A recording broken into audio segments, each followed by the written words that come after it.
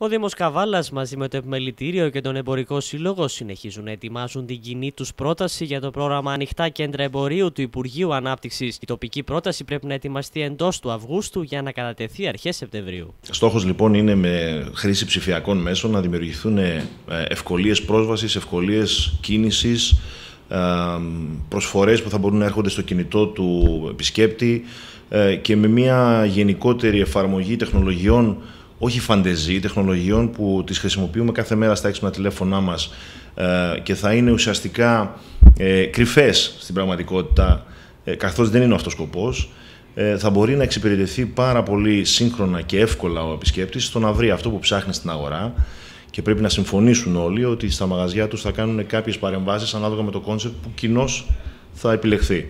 Ε, όχι μεγάλες παρεμβάσεις, δεν θα αλλάξουν τον τρόπο με τον οποίο προσεγγίζουν αυτοί τους πελάτες τους ή την οπτική του καταστήματος, αλλά εν πάση περιπτώσει επεμβάσεις που θα δίνουν μια ενιαία αίσθηση στο μάτι και στο χώρο, υπό την έννοια ότι εδώ κάτι γίνεται, κάπου βρισκόμαστε. Ο τουρίστας θα νιώθει ότι εδώ υπάρχει κάτι ενιαίο, κάτι συνολικό. Θα υπάρχουν πίνακες πληροφόρησης ηλεκτρονική, θα υπάρχουν κάποιες εφαρμογές κινητού, θα υπάρχει ένα ελεγχόμενο πάρκινγκ ίσως μόνο για αυτόν που θα είναι σε αυτή την αγορά και θα μπορεί ο καταστηματάρχης στο πάρκινγκ αυτό να το ανταποδίδει με ε, προϊόντα και ούτω καθεξής.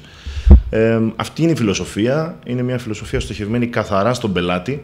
Ουσιαστικά εκεί στοχεύει όλο το πρόγραμμα και όχι στο να φτιάξουμε κάτι σαν Δήμος ή σαν εμπορικό σύλλογος ή σαν επιμελητήριο. Σχετικό ενδιαφέρον για το πρόγραμμα έχουν εκφράσει εκτός από το Δήμο Καβάλας και οι Δήμοι Θάσου, Νέστου και Παγκαίου. Ε, ήδη έχουν ξεκινήσει και είναι, θα έλεγα, σε πιο όριμο στάδιο ε, η συζητήση με το Δήμο Καβάλας για τους, ε, για τους δρόμους, τις περιοχές που θα γίνει η εφαρμογή αυτού του προγράμματος που θα υποβληθεί η πρόταση μέχρι τέλη Σεπτεμβρίου. Ε, είναι επίσης σε εξέλιξη συζήτηση με το Επιμελητήριο και τους εμπορικούς συλλόγους και της Χρυσούπολης και της Ελευθερούπολης ε, για αντίστοιχη πρόταση που αυτή τη στιγμή έτσι προετοιμάζεται και οριμάζει για τους Δήμους Νέστου και Παγκαίου. Ε, καθώς επίσης ε, έχουμε και απόφαση ουσιαστικά του Εμπορικού Συλλόγου της Θάσου στο Λιμένα ε, έτσι ώστε το Επιμελητήριο να αναλάβει την πρωτοβουλία για να υποβληθεί και μια αντίστοιχη πρόταση για τον Δήμο Θάσου. Ενώ μεταξύ άλλων ενδιαφέρον εξέφρασε πρόσφατα και ο Δήμος τη Δημοτήχου με τον Δήμαρχο Παρασκευά Πατσουρίδη να αναφέρεται για το θέμα στο ένα channel. Πράγματι έχει βγει μια πρόσκληση για τα,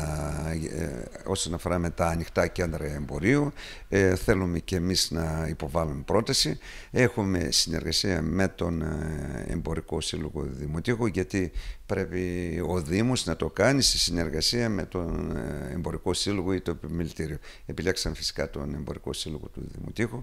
Έγινε μια ενημέρωση στους εμπόρους. Ε, δέχτηκαν να γίνει γιατί χρειάζεται και μια συνένεση από 50 τουλάχιστον ε, εμπορικές επιχειρήσεις να υπογράψουν ότι δέχονται αυτό το πρόγραμμα. Έχει γίνει αυτό. Ε, κάναμε μια αναμόρφωση στο προπολογισμό και ε, πιστεύουμε να προλάβουμε γιατί λίγος είναι ο χρόνος μέχρι τις 24 Σεπτεμβρίου να κάνουμε την πρόταση για να μπούμε και εμείς ε, σε αυτό το πρόγραμμα. Είναι ένα δύσκολο πρόγραμμα οπωσδήποτε. Έχει πάρα πολλές διαδικασίες και ενδιαφέρονται πάρα πολλές πόλεις. Ελπίζουμε να είμαστε και εμείς ανάμεσα στις πόλεις που θα καταφέρουν να υποβάλουν καλή πρόταση